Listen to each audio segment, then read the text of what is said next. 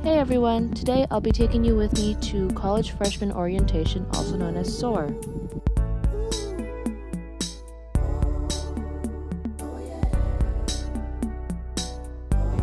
So the drive to Madison was about two hours for me, and we headed out bright and early to beat the traffic before the first event that started at 11. The main goal of SOAR is to help you transition from high school to college and give you a feel of what it will be like to be on campus and part of the.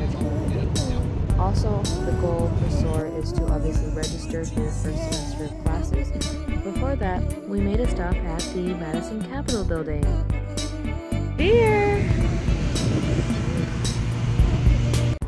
Next, we visited Liz Waters Residence Hall, and this is a lakeshore dorm, and where I'll be staying in the fall for my freshman year. The weather was absolutely beautiful, and although we couldn't get inside, we did explore some of the surrounding areas and out back with a view of the lake.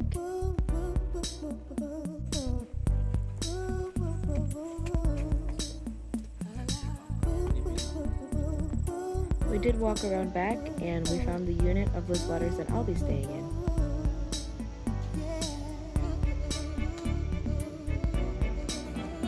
Out back there is like a long pathway down towards the lake and here they have a running and biking trail as well as a porch slash patio area where you can get a gorgeous view of Lake Mendota. We checked out the area a little bit more and then we headed over to Union South where much of the SOAR events were going to be happening. On our way, we walked past the Computer Sciences building, which is where I'll be spending a lot of my time. After picking up my Wiscard, I headed upstairs to check out some of the info sessions they have. There's a lot to choose from, and basically you can go to three or more during that time. And then there's a little bit of wiggle room, so we grabbed a bite to eat before we started. We haven't even gone to the school yet, and we're already late for the first big meeting. We just had lunch, so now we're like 10 minutes late and we're walking back to the union. Alright. Luckily, we made it just a few minutes late to Varsity Hall, where they had a big area and they were giving a bunch of information out to parents. And when I say that I was surprised, I was not expecting to have hundreds of tables filled with students and parents, and then they ended up splitting us into different advising groups. We walked over to college library where we were going to prepare our classes for the first semester. I chose to go with the cross college advising services group, which definitely helped me explore different majors that I could take from another college should I not want to just do computer science. They had a big list that we could choose from, so it was definitely a big help to hear from them. In any way that's most helpful for you. We are the one of the largest advising offices on campus, so we work specifically with undecided and once we got a lot of the big group information out of the way, they split us up into smaller tables of four or five kids with a professional and peer advisor. So the goal was to get a long list of classes narrowed down by your advising profile and prepare to have them enrolled the next day. Back at Union South, they offered a resource fair where you could learn about different opportunities not related to academics, and then we waited for dinner. Dinner was just another chance to meet a few more people, and the food was kind of meh, but I really did enjoy the cilantro rice. Afterwards, the students went to the marquee to listen to a few presentations, and they also gave us the chance to be a part of some of the school traditions they have here.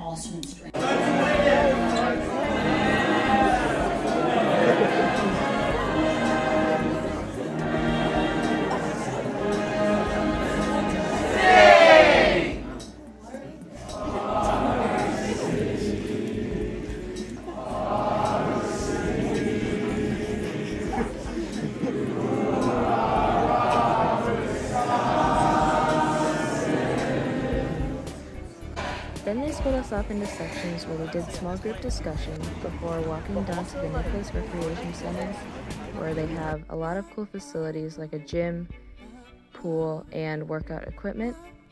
For the SOAR kids, they actually sectioned off a basketball volleyball court where you could play some ball together or go up on the track. But for me, I went up into the studio where they had card games, board games, and friendship bracelets, which was really nice to just connect with people, but by the end of the day, I was definitely tired and ready to go home. It is currently 11 p.m. Um, the SOAR stuff at the Nick ended at like 9:45, and I got picked up, and now we drove to a friend's house that we're staying at. Most people would either stay at the Union South Hotel, a nearby hotel, or at the Lowell Center, which is kind of like a hotel, but it's like dorm bedding and stuff like that.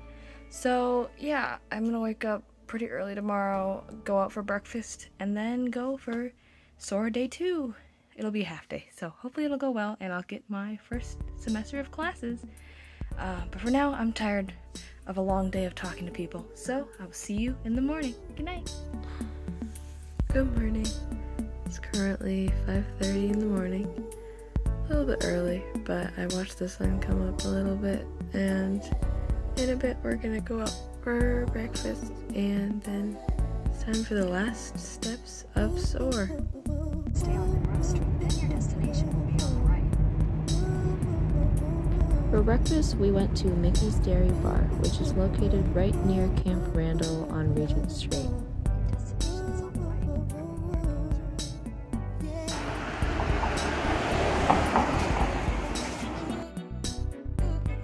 Mickey's serves breakfast, lunch, and dinner, but obviously we were here for breakfast. So I got banana nut pancakes, and my dad got bread and eggs. It was really good, but definitely a lot to handle. Afterwards, we walked on over to College Library where the enrollment would take place, and on our way, we stopped by Bascom Hill. Here's me contemplating my life choices of having to walk up that hill for class. And we also stopped by Memorial Union Terrace and it was a lot quieter than normal without the crowds and music, but we hung out around the iconic chairs and just enjoyed a little bit of time before it was time to enroll classes.